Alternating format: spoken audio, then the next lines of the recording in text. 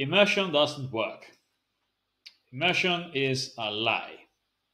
And you will not become fluent with immersion. And I'm going to tell you why.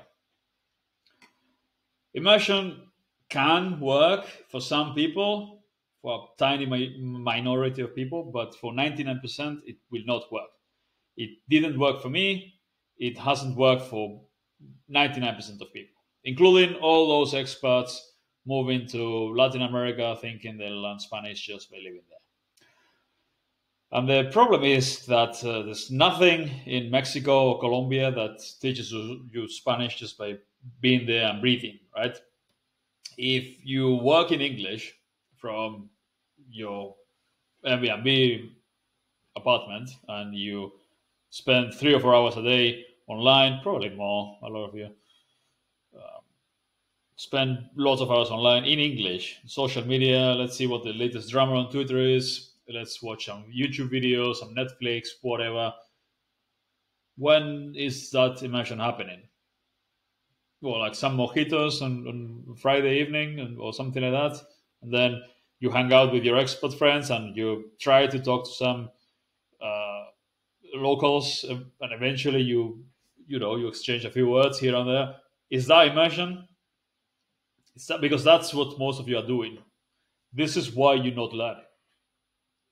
Immersion is very difficult to achieve, real immersion, because you need to be working in the language, you need to be speaking the language at home, you need to be you need to be only using the language for entertainment as well, social media, social media just avoid it completely, but uh, podcasts, YouTube, uh, Netflix, everything is in the in the target language. That what's that's what real immersion is, and outside some nerds like the uh, Refold guys learning Japanese, which good good for them by the way if they if they can spend 12 hours a day learning Japanese or using Japanese and uh, living their lives in Japanese, good for them. Uh, I can do it because I've got a job and I've got friends and hobbies and things.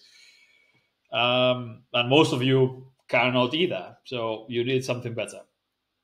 Uh, this doesn't mean that you shouldn't try to, you know, consume content in the language. The more, the better, obviously. But just hoping that moving to the country will be enough because immersion, no, it's not gonna, it's not gonna happen. You need a plan, okay? So start, and, and by the way, deliberate practice will always beat immersion anyway. Um, ideally, you combine both. You do deliberate practice a couple hours a day, and then also living in the country and interacting in the language and lots of exposure to the language. But I mean, that's it's very hard to to achieve that because you don't have the time, you don't have the means, whatever, to to to dedicate as much time uh, of your life to for that. Yeah, so. Um, what I recommend is deliberate practice instead, and then some listening. The, the, the more the better, but yeah, do not do not uh, put your hopes on immersing yourself or anything like that because it's not going to happen honestly